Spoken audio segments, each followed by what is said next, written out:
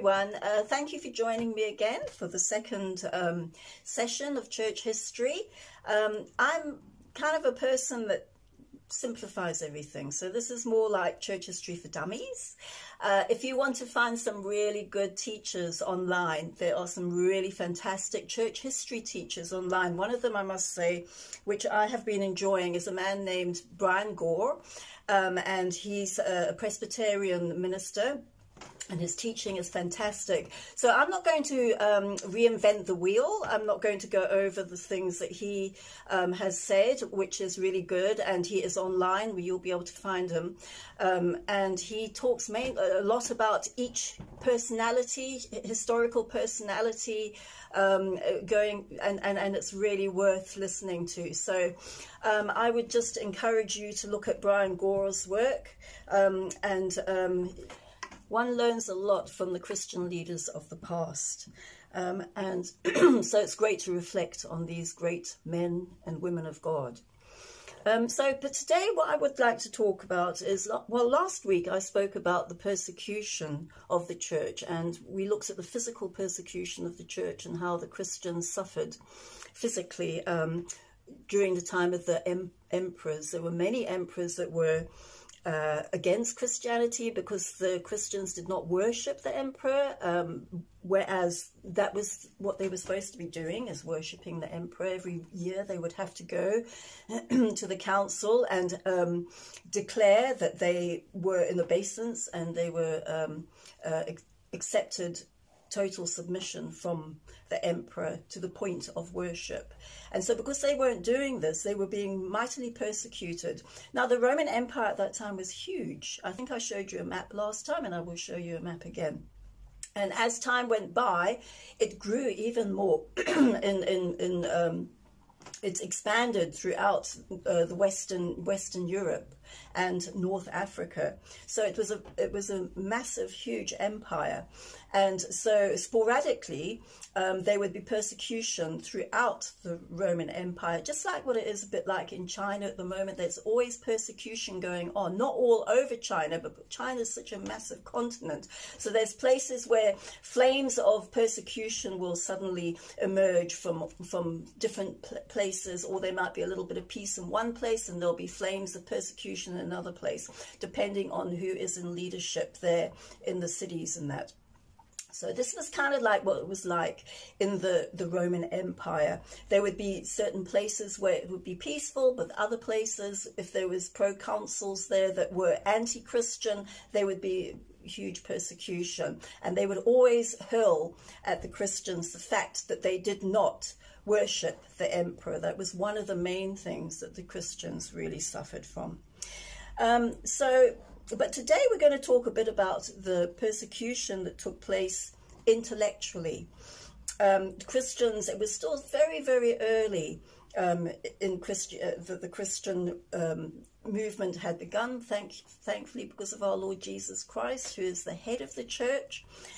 So there was those that eventually emerged during this intellectual persecution um, intellectual men of God that had found Jesus as their savior and started to use their their um, expertise to uh, you know to defend the faith of Christianity which was such a necessary thing at that time because the church was still in its seminal um, form.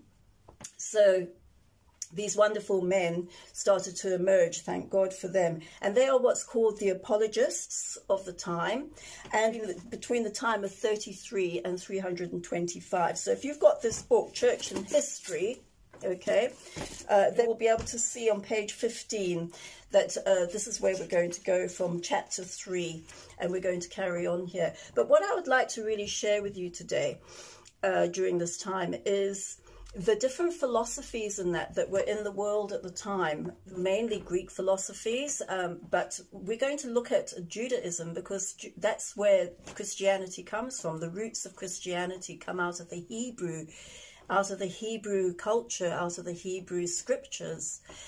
So, but because of the fact that Christianity had come to the Greek world, which was the main culture of the world of the time, uh, Christianity had to relate itself to the philosophies um, of the day. But let's just look at Judaism, for example, just very simply.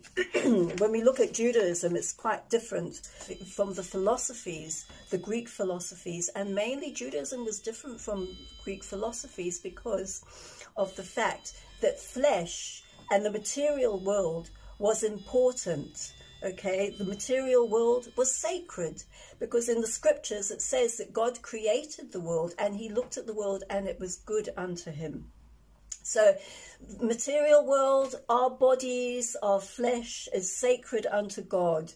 Um, and so, so because of that, we can um, celebrate uh, our bodies and we can celebrate in this beautiful created world. But the Greek philosophies, and most of them, in fact, all of them, did not see it that way. They saw the body as a prison cell where uh, our spirits are kept, captivated, and only once our bodies died uh, could our spirits be set free. It is this kind of element of thought that the world actually really isn't really real. So they approached the um, the proof of existence through the spirit man. In other words, what the Platonists actually said was that um, I think, therefore I am. It's like what uh, Rene Descartes said, I think, therefore I am. Uh, and then you get on the other side, you've got a guy named Aristotle.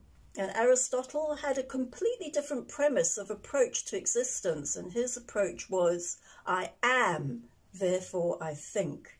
In other words, we, we actually become conscious of our existence because we are in a body and we have a brain and we can think. Whereas with Plato, his um, proof of existence and consciousness of existence was because we have a spirit, that is how come we can understand our existence.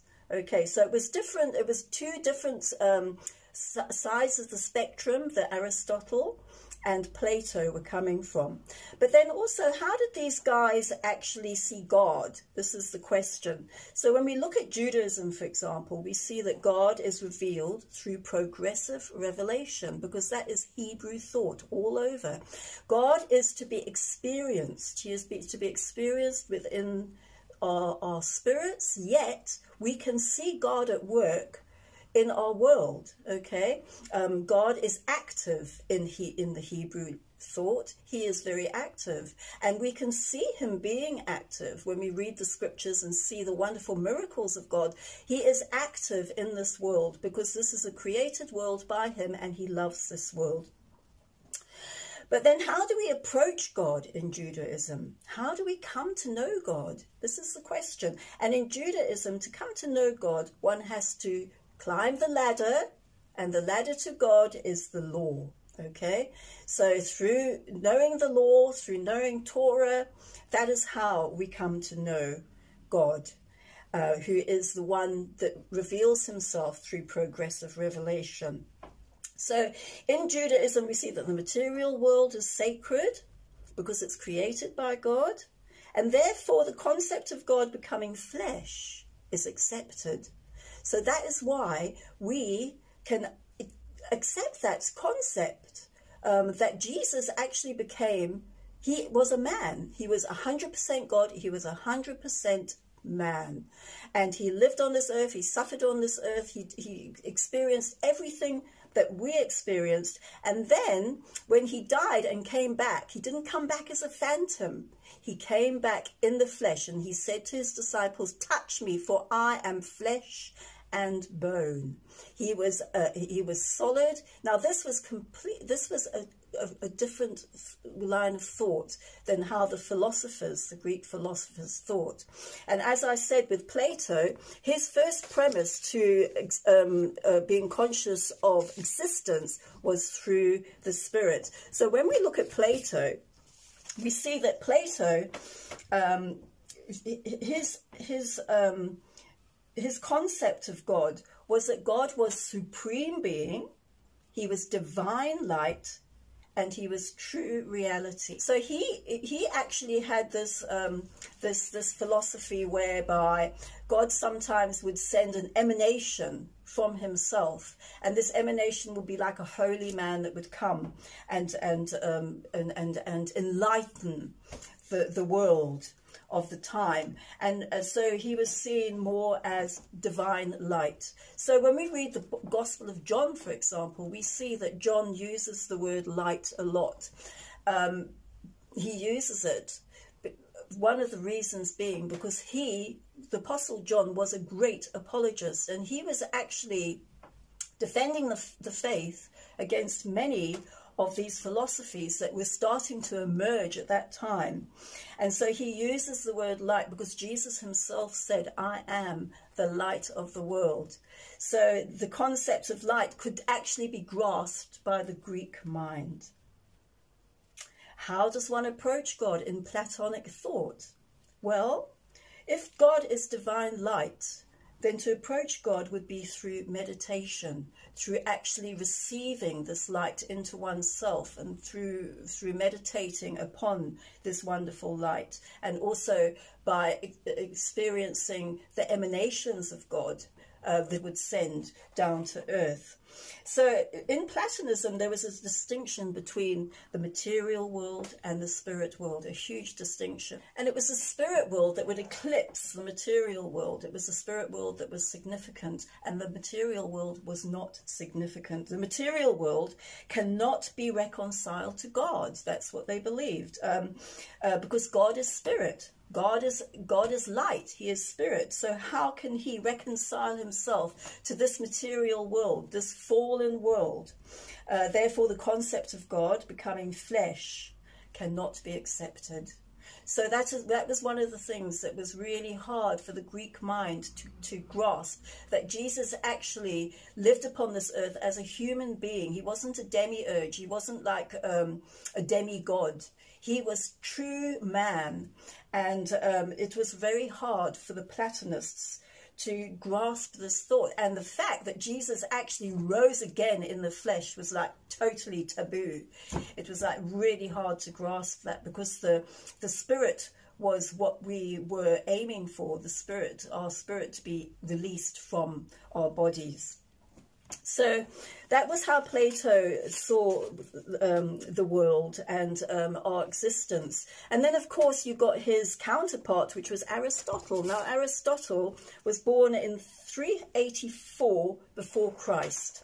And Aristotle's whole premise was at the other end of the spectrum, basically. His, to cut it down really short and to make it as simple as possible, he said, I am, therefore I think, whereas Plato said, I think, therefore I am. And so um, Aristotle, um, he saw the world um, as a material world, and only through the material world could we grasp the deeper things of life. And so that was his main line of thought how did he see God? Well, he saw God as the first cause, the principle of existence, the unmoved mover, who was not a personal being, by the way. He was just the unmoved mover and he was totally distant from humanity. How did one um, actually reach God? How does one actually connect with God in the Aristotelian thought? Through reason and logic really was. So seen through the material world was proof of existence. So Aristotelian thought only actually started to really emerge after the Crusades because when you look at um, the, the early church and you look at, which was steeped in Greek philosophy, um, the, the, the prominent philosopher throughout uh, the early church, the Constantine church, uh, right through the Middle Ages was mainly Platonic thought. And um, so Aristotle only, his, his line of thought only appeared after the Crusades. And it was from this premise of Aristotelian thought that we get the whole um, Darwinian um, um, understanding of the world, but we will go into that a little later. Okay, so then carrying on, we see that there was another wonderful, well, there was a wonderful philosopher, and his name was Philo. Philo. Probably that's where we get the word philosophy, I'm not sure. But now Philo was a Jewish philosopher, so he was a Hellenist Jew. So what he had done is he had synchronized, he had brought together um, uh, Hebrew thought and Greek thought together, which was quite a difficult thing to do, but that's what Philo did. So he saw God as supreme being, okay, which sort of slotted into the Greek line of thought. But he also saw God as the Hebrew Yahweh, okay. And um, so, and he, because he was a Hebrew, because he was Jewish, he saw the world as sacred, as, as uh, it was create, the created world was a sacred place. Now, how, in, in his, um, in his understanding, did he, did he see man reaching God? Well, he saw God as the Logos, and he saw, which in Hebrew is wisdom.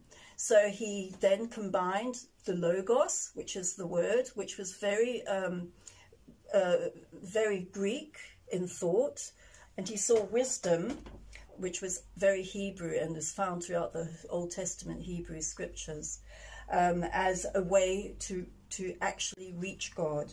So it was the word and it was wisdom that helped us to actually reach God. And how does one get wisdom? Well, according to Philo, the practice of asceticism and mysticism brought us to the place where we could find God. What is asceticism?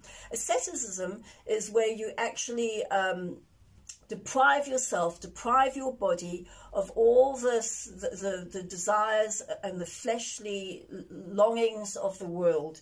And you deprive yourself basically from all those things like fasting and, and um, um, bringing your body into subjection, which Paul talks about quite a lot. Um, and so this was a way to reach God. And yet, in Philo's line of thought, the created world was sacred.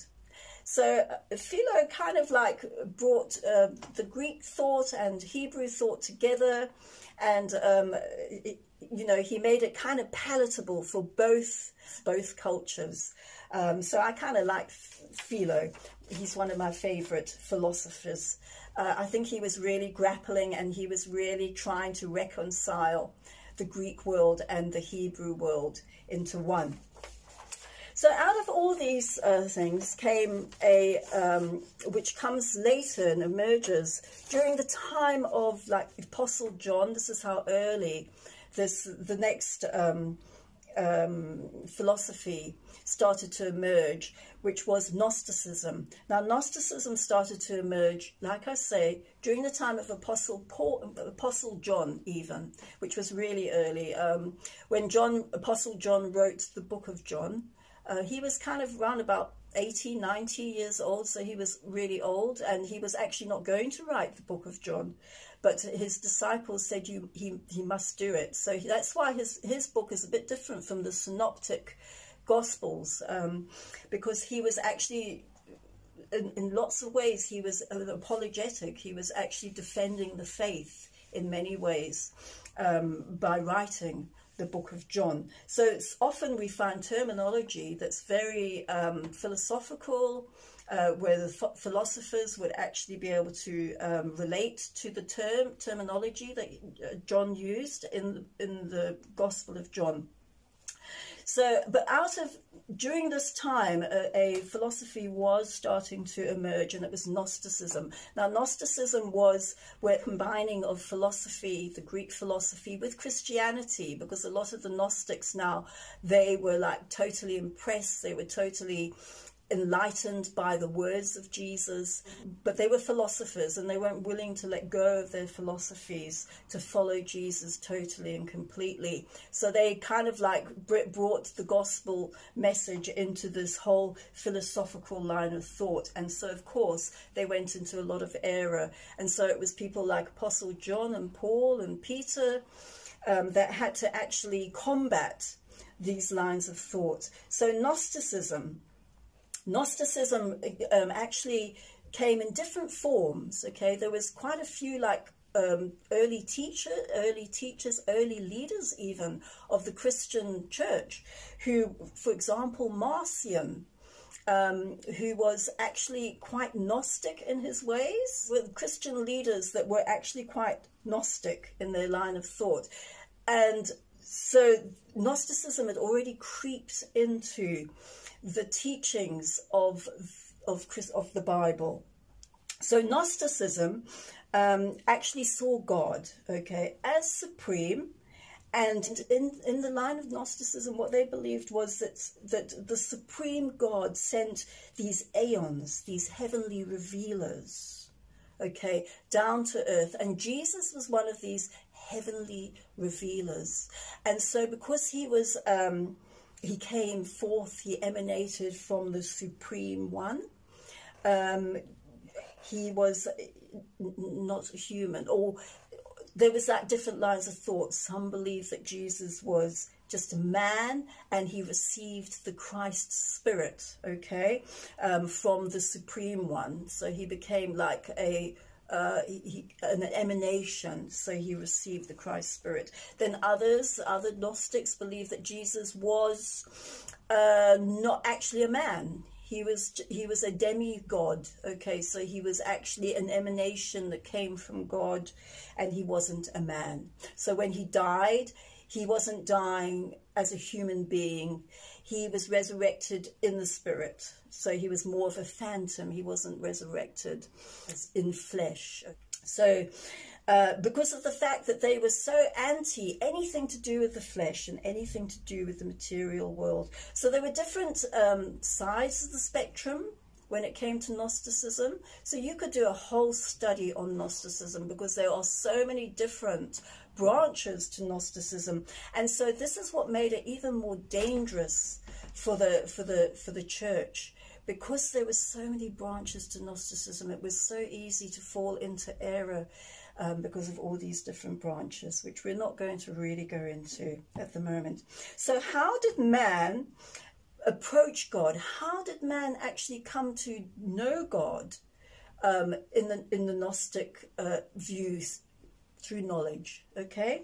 So according to the Gnostics, we come to connect with God through knowledge. And it was this uh, like exclusive Gnostic knowledge that each of the different groups would give that would um, actually uh, be able to help a man to approach God through specific knowledge that the Gnostics had received.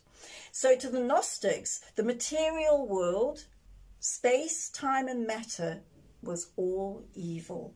Okay, it was created by um, a demiurge or an architect. Okay, and the and and also uh, it was Marcion who actually said that um, the God of the Old Testament was a foolish God. He was a different God from the God that we served, the Lord Jesus Christ. He was a foolish God of the Old Testament. So even that was a, a part of Gnosticism, okay.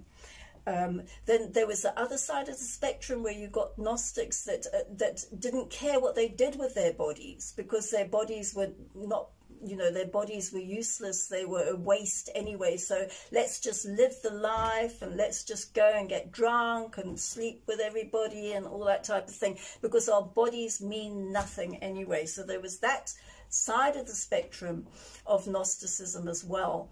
And on the other side of the spectrum, there were those who would flagellate their bodies and um, and fast for weeks and weeks and that type of thing to bring their bodies under subjection to the spirit. Um, and this was also a way of hating the, um, the, the material world, hating one's flesh. So uh, this is what, um, this was some of the philosophies that were going around. And so to actually um, understand what Christianity really was, we really needed the apostles to to to work it out, to codify what the Bible was saying, what the doctrines of Christ was actually saying to the world at this time.